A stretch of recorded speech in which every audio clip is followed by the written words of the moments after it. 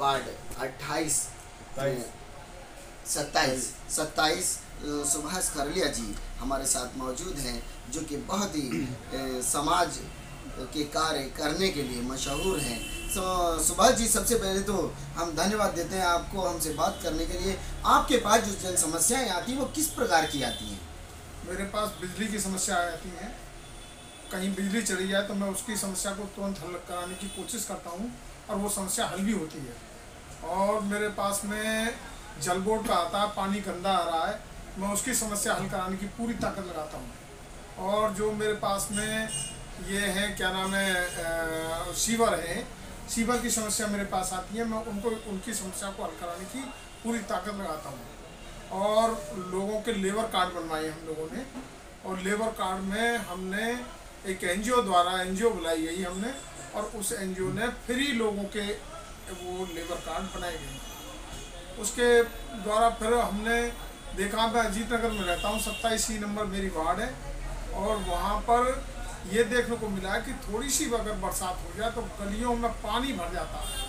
बहुत लोग दुखी हो जाते हैं और वो दो दो दिन तक पानी भरा रहता है, निकलने का उनको रास्ता, क्या नाली कभी साफ़ नहीं होती, कभी वहाँ साफ़ सफ़ाई नहीं होती अगर कूड़ा नाली निकल जाए तो चार चार दस दस दिन आठ आठ दिन तक कूड़ा नहीं उठता। क्या एमसीडी के जो काउंसलर हैं उनका क्या नाम है? क्या वो आपकी नहीं सुनते?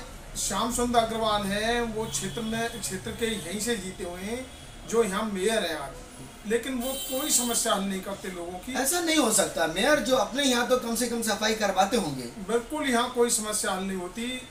खासकर सत्ताईस में तो किसी का भी कोई काम नहीं होता, गली टूटी पड़ी है और अगर जूते सही कपड़े पहन के जाएँ तो छींट आ जाती हैं और लोग परेशान हैं कि लोग गंदगी के से इतने दुखी हैं कि जूते पहन के जाए तो जूते बचाने पड़ते हैं, अपने आप पे को बचाना पड़ता है। बहुत मुश्किल है लोगों के रहने के लिए, गंदगी के द्वारा बीमारी भी यहाँ प्रकोप है। आपके क्षेत्र में जो जो समस्याएँ अभी लॉकडाउन के दौरान ही देखा गया था कि बहुत ज़्यादा राशन की महामारी रही और इतनी मारामारी मैंने कहीं नहीं देखी जो आपने शिकायतें वगैरह ली। कहीं सही थी? राशन की दुकानें नहीं खुलती हैं, यहाँ के अफसरों को शिकायत करो तो अफसर सुनते नहीं हैं और यहाँ जो राशन का दफ्तर है गांधीनगर में, वहाँ भी हमने शिकायत की है। दुकानें कभी खुलती हैं, कभी नहीं खुलती हैं। उनको कह देते हैं, भाग जाए यहाँ से, कोई दुकान नहीं खुलेगी। अब तेरा राशन नहीं मिलेगा, अगले महीने आना। उसको एक प्रधानमंत्री का, एक दिल्ली गवर्नमेंट का मिलता है, उसको डबल नहीं मिलता, सिंगल ही मिलता है, और सिंगल भी किसी को मिलता है, किसी को नहीं मिलता है। यहाँ तक है, एक दुकान यहाँ से पाँच नंबर गली अजीत नगर में थी, और वो दुकान यहाँ से वहाँ भेज दी गई है, शंकर नगर। ये बड़ी समस्या है, लोग बड़े दुखी हैं। यहाँ से सौ रुपये लगा करके वहाँ जाते हैं, और वहाँ से वापस आते हैं, फिर फिर दूसरे दिन जाते हैं, फिर सौ रुपये लगाते हैं, फिर भी राशन नहीं मिलता उनको। बड़े परेशान हैं लोग। आपके यहाँ जो पार्क हैं जो पार्क हैं जो उनका सुंदरीकरण के लिए आपका पार्क भी सामने जो है क्या ये सुंदरीकरण के लिए पब्लिक के लिए खोला जाता है सुबह से और किस प्रकार है इसका? हमारे यहाँ कोई पार्क नहीं है अजीत नगर में लेकिन हाँ ये पार्क है सीलमपुर गाँव के पास वो पार्क सुबह खुलता है। भी आपके क्षेत्र में लगता है ना? हाँ क्षेत्र में सत्ताईस ही में लगता हो तो इसके सुंदरीकरण के लिए आप श्याम सुंदर अग्रवाल के पास क्यों नहीं जाते?